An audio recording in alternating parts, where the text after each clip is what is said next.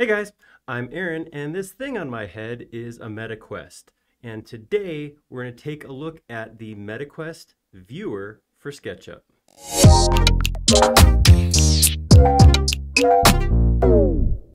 So this particular headset right here is a Meta Quest 3. The viewer works for Meta Quest 2 or 3. This just happened to be what I had available to me today. Uh, so I'm going to be casting from this and recording it, and we're just going to kind of walk through the viewer. So right up front, I want to mention this is, like I said a, a couple times, a viewer. I'm not going to be modeling, so I'm not going to actually be like creating something. It is for looking at, exploring in in real time, real size, real scale, your models. It is fully VR. It's not an AR viewer. It is a VR viewer, and it's going to allow you or your clients to jump in and actually experience your models, which is pretty amazing. We're to take a look at it right now. All right, let's get the headset on, get my controls. I'm to step back, and we're to be in the viewer. So when you first come in here, one of the things you notice is you are totally inside this room. Uh, this is the, the home environment. This is where I explore my model from. Uh, and I get this home screen right here. I have some options on here. I do have the ability to go in and, and go to the Learn tab and see some videos. This video we're doing right now is just kind of an overview of how the viewer could work for you. Uh, we're not going to go in depth to every single command and how it all works. That is available, and it's available right here through the Learn screen if you want to want to jump in there and learn specifics.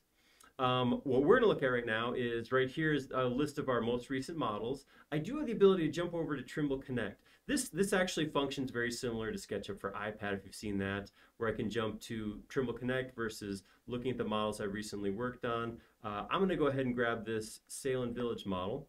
We're going to get a little dancing construction guy as it loads, and then we're going to get start with this scale model. So when it first comes in, it's on this floating table, and I can do a little bit of interaction with it. I can click on it with the controller, and I can move it around. Uh, I could move it up in the air so I can look underneath it. Obviously, this is not terribly exciting, but if I had something like, I don't know, a vehicle or something like that where there's something modeled under there, that might be kind of cool. Um, as I bring this model back down, you can see it'll snap to that table like that. This table height is definable. There's a preset for that, so I can set that whatever height I want. I can also grip it with two controls, and I can do things like scale it, rotate it. So if I want to see the other side. I could go like this, come around over here. Uh, you'll notice as you get real big, that table right there, it drops down to the ground. And I get into uh, this scale, which again, it's not the actual scale doesn't matter because I'm not going to be, you know, holding a scale up to my VR model or anything like that. But when I look at it in this scale, uh, which I would refer to as the Godzilla scale, um, I think this lets me view things in a way that I can't view it in reality. Um, I guess if I had a jetpack or something was flying around, I could see it like this, but uh, I can't move around it that quick. Unless you were to build a very large, very expensive scale model, it would be very hard to experience the model like this. So this is my favorite. I mean, we can do desktop, we can do tabletop where it's a smaller, like I said, 3D printed or, or car, cardboard model. We'll look at immersive in just a second. Uh, but that, that big scale is probably my favorite way to experience. All right, so what we're gonna do is we're gonna jump into immersive real quick. And I'm gonna do this by just dropping myself in right here on the street. And now we are in one-to-one. -one. And in one-to-one, -one, I can look all around the model. I can see this as it would be. I can't, I can't move the model. I can't scale the model down at this point because I am in a one-to-one -one view. Uh, this is exact scale. I can move myself though.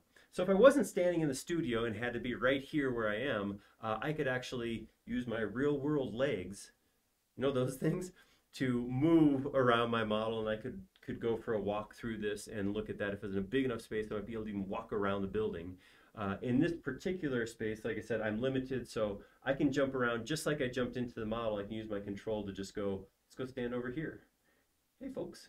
Uh, so with this, I can, I can move around and I can actually look at the model. I can also, if I need to, if I'm limited, uh, obviously I could turn around, but then I'd show you guys the back of my head. So I can actually use my control to kind of flick and jump around the model here too, just kind of change my view. I can at any point bring up a menu, and the menu is going to have some controls on here, uh, some basic information, some of the info from your SketchUp model comes along and shows up in this viewer. So the, the bottom ones uh, here have an outliner and tags. These just give me control of the outliner, just like you'd see it in SketchUp. And I can go if I wanted to find information or, or, or find a specific thing, I could do that through the outliner. And then tags, of course, and let me turn things on and off visibility wise. Uh, I'm not going to dive into that too deep, but they're there. Those and those are just the write out whatever you have in your SketchUp model shows up there. Uh, what I want to look at is the tape measure command, because with tape measure is kind of cool. I could say, well, how, how far is it from here down to the ground right here? And it'll come up and tell me. And of course, you guys know I don't have good reference for millimeters, so what I'm going to do is I'm going to hit units preference, change it to feet and inches, and see, okay, 11 and, just about 11 and a half feet. A good reference image just if I don't have a good idea. Generally speaking, I could say, yeah, that's about, about two people's high, but yeah, I can verify. 11.5. One thing we are going to take a look at is scenes. Because again, like I said, this is a viewer. This is for you experiencing your model. Uh, scenes, of course, are a great way to do that. So I'm going to go ahead and jump to this pavilion view. And it's going to take me up onto this, I think it's the third or fourth floor pavilion. And I can look up at the main tower. I can look around this pavilion. I can see this. This is an amazing way to experience model. And again, from here, I could walk using my real legs or I can use my control to, to flick around and spin around, look at geometry. Let's go look over the edge. Let's go, let's go hop over here and we'll get right here, change bushes. You know, let's, let's do it. Let's stand up on the ledge. Woo. All right, so a couple stories up, but yeah, it looks like it's it's doing the thing it's supposed to do. It makes me feel like I'm in the model. It's making me feel like I have, uh, you know, some stakes involved here. If I want to get down, uh, let's let's go let's go hop back down over here somewhere. All right, there we go. That feels slightly virtually safer, virtual safety. Anyhow, um, yeah. So so scenes are just like they're a good way to show off your model to a client or something like that on your desktop. They become even more essential and important for VR. So let's show you what I'm talking about. Um, so if I put this onto my customer, I want him to want them to experience this model, um, I could do that. I could pull this up and say, just click through some stuff. But there's this thing called presentation mode that I really like. When I click on presentation mode, it's going to give a limited UI. So I don't have scale or anything like that. I don't have to worry about that. I just come up with these scenes across here that they can click through. And it's super easy. I mean, take, take your thing, point it at a thing, and pull the trigger, and you're there. So this is my, my uh, Pavilion 2 view. And from here, they can look around, they can see the things they want, and then when they want to jump to the next one, they just click on it like that. So a great way to observe. So like I said, it's nice to get in there and get immersive and move around. But if you're working with somebody who's not experienced with VR, doesn't know how to use controls real well, that kind of thing, this makes it super easy to guide them through your model. So in this case, uh, by clicking between this jewel, no jewel, you'll see I get a change, my a design option here between these jewel floors being here or being removed. So a really cool way to explore the model uh, without having to understand how scenes work or how to navigate using your controls or that kind of thing.